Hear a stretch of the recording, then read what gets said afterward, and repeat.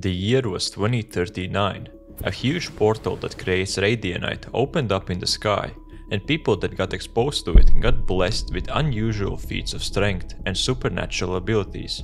This event was called First Light. Just imagine how pissed off you would be if you were Astra, seeing people gain the ability to fly, teleport, produce fire from their hands, and all you can do is build a wall that blocks bullets and throw smoke grenades with your mind, which is probably less efficient than if done by hand. Like she does what a regular person could do, except she goes unconscious in the process. Anyways, as all of this is happening, we have proven that not much has changed in the last 16 years, as a company called Kingdom Corporation is born which sole purpose is to profit from Radianite.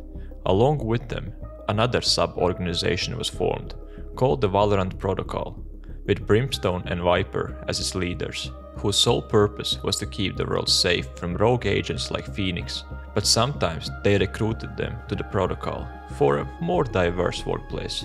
Just 10 years after the first light, Jett is seen terrorizing the streets of Venice out of all of the agents, Phoenix was the one sent to resolve the issue.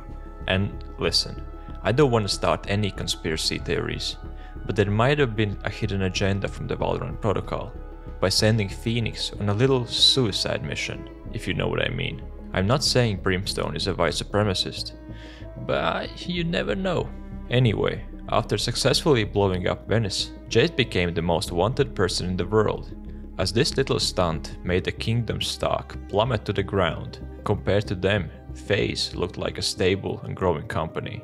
The very next day, the agents assembled on the map Bind, where they found a planted spike. While Killjoy was defusing the spike, Phoenix was chasing an enemy, and that's where we came to learn that our boy Phoenix has schizophrenia, as the person that he was chasing was himself. This was the biggest Valorant lore reveal of all time, the agents weren't actually fighting each other, they were simply fighting the demons in their head. It turned out that First Light didn't actually expose people to any special abilities. It simply exposed everyone to some magic fairy dust, taking people on a never-ending high.